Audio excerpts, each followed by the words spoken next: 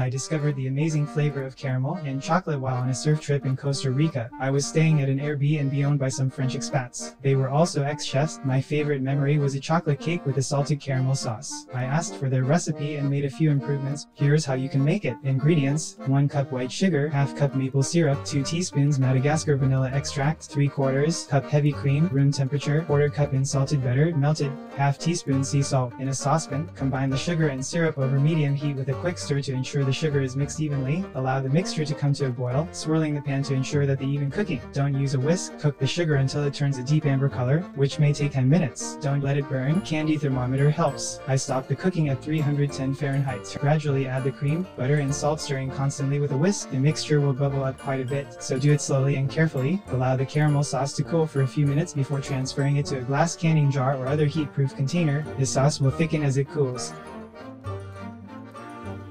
I